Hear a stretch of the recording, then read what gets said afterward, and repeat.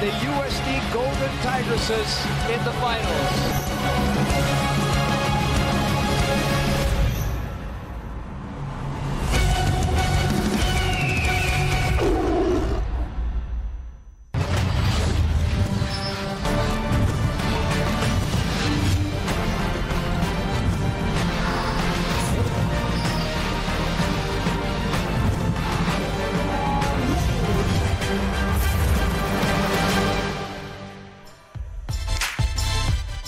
The UAP Finals in women's volleyball starts on Saturday. Number one seed Ateneo versus number two seed UST. And now it's time for us to preview. This is it. Best of three. Number one versus number two for the right to be named champion of the UAP. And still with us, Mac Janicio and Jem Ferrer. And these guys are going to tell us, all right, the strengths and things that need to be improved by both teams heading into game number one. So, uh, Jem, I'll start with you, all right, with your vast experience in this game. Let's start with the. I guess let's let's start with the things that Ateneo will still need to improve on as they head into game one. Um, kita naman natin last night sa game nila against FEU. Ateneo really needs to improve more on the reception pa rin hanggang ngayon. Kasi nakita natin kung gaano sila kahirap eh. Lalo na alam naman natin na si UST malalakas na servers yan. So, kailangan nila mag-focus on the reception para mapadali yung trabaho ni Dina Wong at mas maganda yung magiging great distribu- yung mga distributions niya para sa spikers niya talaga.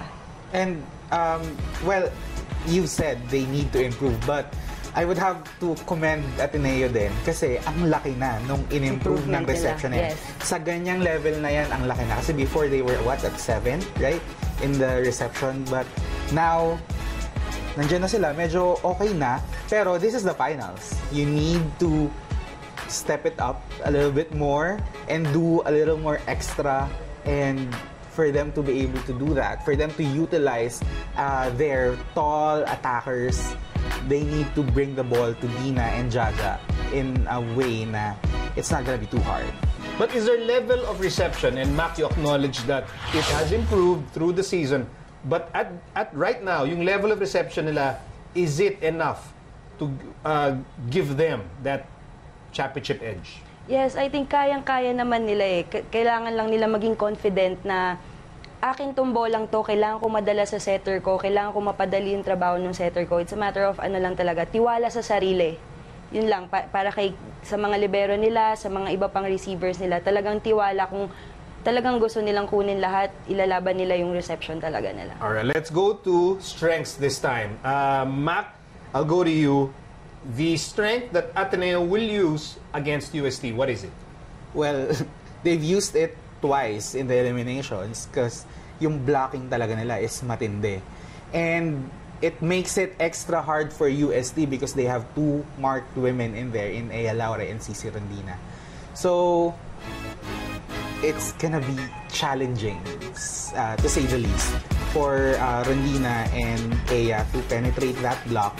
And um, it's gonna be a challenge for them to, you know, use other attackers because yung blocking talaga ng Ateneo, sobrang intimidating.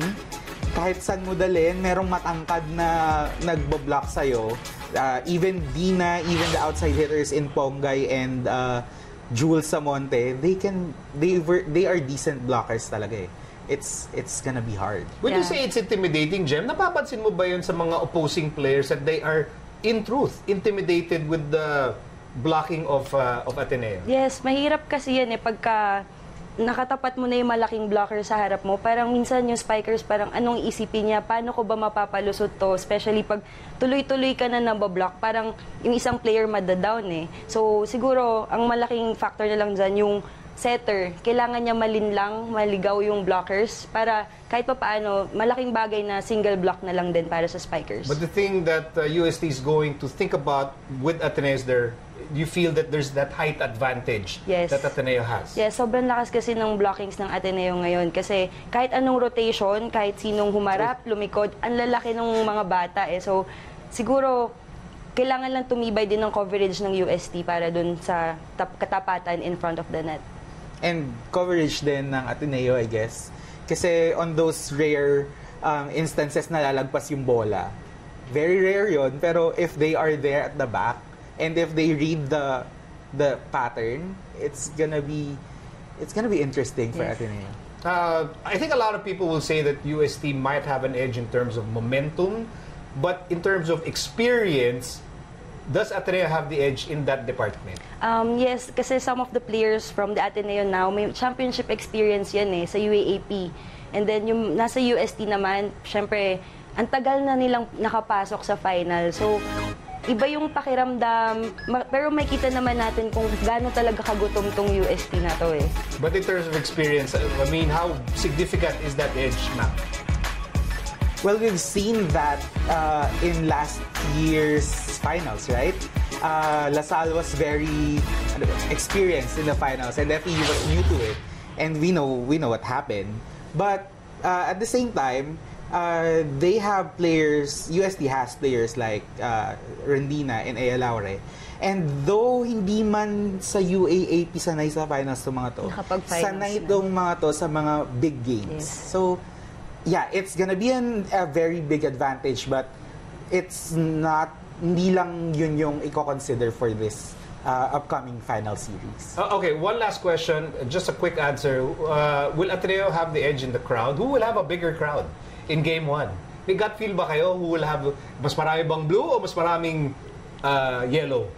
To be honest, feeling ko pantay eh. I hope pantay. Para mas masaya, right? Yes, kasi hindi lang naman ang supporters ng parehong school na to eh alumni ng Yeah. Ateneo. So, I mean Ateneo and UST. And UST. Ang dami dyan, like galing sa mga probinsya, bumabiyahe. Ang dami talagang tao na sumusuporta sa dalawang kupunan na to. Yeah, by the way, si Jem daw marami siyang extra tickets. Naghahanap siya ng mga pagbibigyan. Message lang ako. Ano pa? Message siya. PM is the key. Lang daw siya, marami daw siya pwedeng ibigay. Now, for more coverage of the UAP Finals, go to sports.abs-cbn.com. Now, we talked about the strengths and weaknesses of Ateneo.